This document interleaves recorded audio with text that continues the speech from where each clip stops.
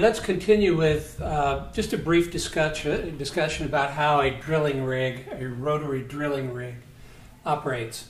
Now we've we've thought about the fact that it lifts, it rotates, and it pumps.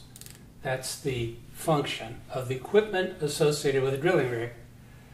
Um, now I'd like to talk a little bit about what these guys are doing.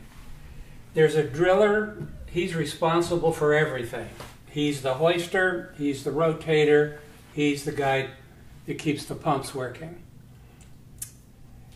But we have other people. Generally, there are two floor hands. And then there's another guy that's up here. He stands on a monkey board, they call it.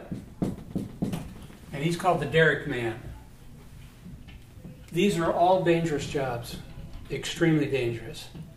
And um, it, it takes guys with a lot of courage and stamina. It's really hard work what they have to do. So let's look at what they're doing. First of all, a drill pipe, a, drill, a piece of drill pipe, is about 30 feet long. It has threads on uh, exterior threads on one end. They stick out. On the other, this would be the female, and the threads are on the inside. So you have male threads, female threads. This is a pipe, the total extent of which is about 30 feet, generally 4 inch diameter. This varies depending on how deep they go. And it's hollow on the inside. That's so they can pump mud, drilling mud, down through the pipe and uh, use it to clean out the hole and keep it from kicking. Okay, generally on a rig like this, we're talking about this rig is 150 feet from the crown block down to, and in the Libyan Sahara, they actually put down pallets made of steel. They made a steel floor to set the substructure on. So it's about 150 feet from sand level up to the top. These men uh, are responsible for making sure the pipe goes down in the hole. They are responsible to connect pieces of pipe. Generally, they screw together three 30 foot sections to make a 90 foot, uh, what they call a stand. this work is extremely dangerous. I remember when I was working in Texas and Louisiana, uh, being on the drilling floor as they were coming out. Uh, not everybody, but there were a lot of guys who were missing fingers. A lot of guys that are missing fingers. Now, why would they be missing fingers? These men, one of the big responsibilities is to screw these pipes together or to unscrew them. The torque, that is, the amount of force, twisting force necessary, is unbelievable. They didn't use crescent wrenches or pliers. They used what they called chain tongs. These are heavy. The arm of each one could be three to five feet, maybe even more, in length. And they have uh, teeth on them that grasp the pipe. And then they have chains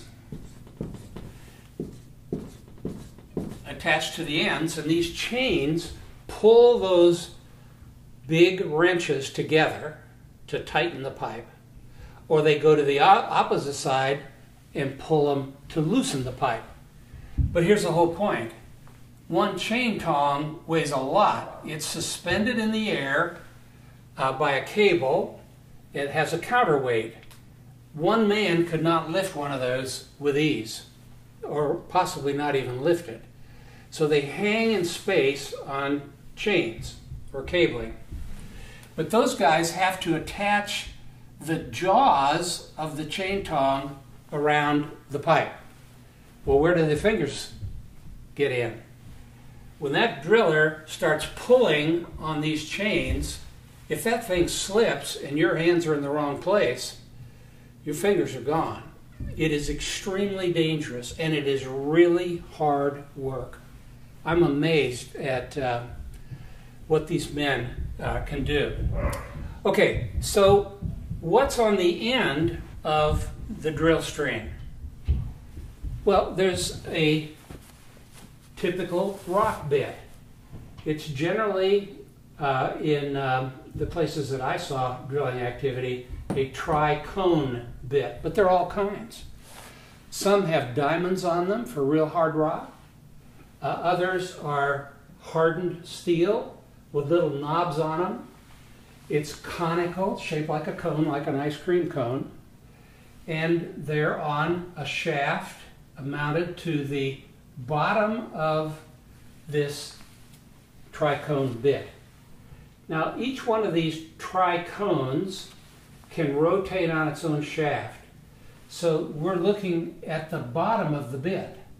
When this is lowered against rock, as this turns, each of these cones start turning, but the speed of each layer of these cutting knobs is different. So they really grind up the rock.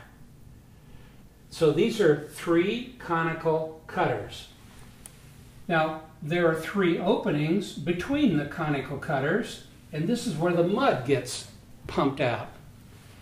The mud can be directed against the cones, the cutting cones, to clean off any rock debris. Or it can be directed straight down, blasting at the rock that they're going through and bringing the cuttings back up outside the pipe. Okay, this, these are highly engineered. Now, it's interesting to me that um, a famous guy by the name of Howard Hughes, I'm sure you recognize his name, really wealthy, a very um, odd guy, but uh, did some really important things. Um, his dad started the company that first started making these drilling bits. It was the Hughes Tool Company. They still operate. Okay, so the drilling bit is attached to the drill string at the bottom. Now, the drilling bit also is attached to some things called collars. These are solid steel. Depending how much weight you want on top of that drill, that drill bit, you would put any number of these thick-walled steel collars. If this box right here is four foot or four inches in diameter, that's got to be four inches. But they're solid steel and they're extremely heavy. And what they do is provide force uh, to be kept against the face of the drill bit as it cuts through the rock. Okay, so these two guys are responsible to put together the pipe sections to take apart the pipe sections. So let's suppose they're coming out of the hole. When they come out, these two guys unscrew a 90 foot section and then they place that 90 foot section, it's vertical, it's being pulled up by the traveling block. They put it into something which is called a fingerboard. In other words, they pull this pipe out, they unscrew it with their chain tongs, they grab the pipe as it's being suspended in space, they grab that pipe, that 90 foot section, and they'll put it into one of these finger slots. Now, the guy that's really got the dangerous job is the derrick man. He takes a hold of what they call elevators that are attached to the drill pipe, and when they're coming out of the hole, he has to stand on the monkey board and reach way out. He's got special uh, belts on, safety belts, but he leans way out beyond that board. So if he's here, he's leaning way out. Um, very precarious. He has to wrestle that 90 foot stand. He's got to pull it over and slide it into the right finger. And then he has a piece of rope and he ties it in. Okay, let's suppose this well started to blow out. That happens on occasion. We would hope it doesn't, but sometimes it does. What would that guy do? He's bound in that belt. If this well kicked, it would go straight up. The speed of and the rock coming out of that hole would kill him instantaneously. And chances are the gas and oil in it, because of friction as it comes up that drill hole, would catch on fire and he would be burned up in a, in a second. So they have what they call a Geronimo line. It's a steel cable attached to the derrick and it's got a little device with a handle on it. If that thing starts to kick, he would unloose his belt, grab the handle with both hands. It's got a brake on it, so he can slow his speed, and he would travel down that line at high speed until he reached the desert floor. I never saw a guy have to do it, but I saw and heard stories about wells that had kicked in the past where life was endangered. So the point we want to make is very complicated what goes on on a drilling rig, and yet at the same time it's rather simple. It's just lifting, turning, and pumping. But it takes highly specialized, highly trained guys uh, that are courageous, strong, they're physically strong, that do this work. And it's super dangerous. Um, on one well, this dead man lying here that never moves there was a guy in Libya standing next to it with his hand on it, and they were stuck at the bottom, and the drillers pulling up hundreds of thousands of pounds, and all of a sudden the bit came loose, which threw slack into all the cabling because the traveling block jumped up a couple of feet. And then it slammed back down. The guy's got his hand against the cable, right? it's taut when they're pulling up, but the minute it came loose on the bottom, there's all this slack. All of a sudden, he disappeared. He was like an arrow shot out of a bow.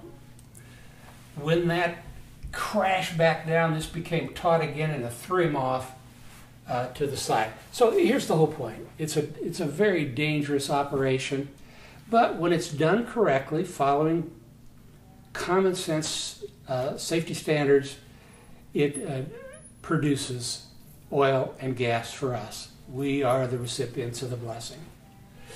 Very good. So, if you ever have a chance to see one of these, I would encourage you to look. I was on a site location in Texas one time, and a Cadillac drove up on the drilling site, and there were three men in the Cadillac, and they had bib overalls on and they had toothpicks in their mouth or a straw or something, and they were old country boys. And they drove up on location. and the tool pusher, that's the name of the foreman on every drilling rig, is in charge of the whole thing, came out said, What you guys want? And he said, Hey, we're from Kentucky, man. We, we're in the drilling business up in Kentucky. And we ain't never seen a rig this big. How deep you going? And the tool pusher said, We're going to 15,000 feet. They said, 15,000. I said, Man, we drilled down about 500 foot in the field we operate in, and we get oil there. What a contrast. A 500 foot hole with a 15,000 foot hole. They were absolutely astounded at the complexity of the equipment they saw, which they should be. They had a very profitable company. In fact, those three country boys were making big money when they told us they only produced a few barrels a day from their wells. They had to pump them. But uh, the stories they told about how much money they were making was phenomenal. Okay, so that is basically the mechanics of a rotary drilling rig. And next time we'll talk about the moving rig. it's the biggest portable drilling rig in the world, or it was at that time.